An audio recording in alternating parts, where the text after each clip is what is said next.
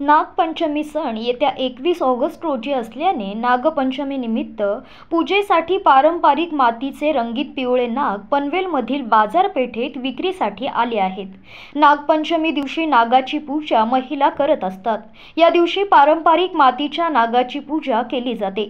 रंगीत पिवळे आणि त्यावर सुंदर रेखीव टिपके असलेले सुंदर नाग महिलांना आकर्षित करत आहेत.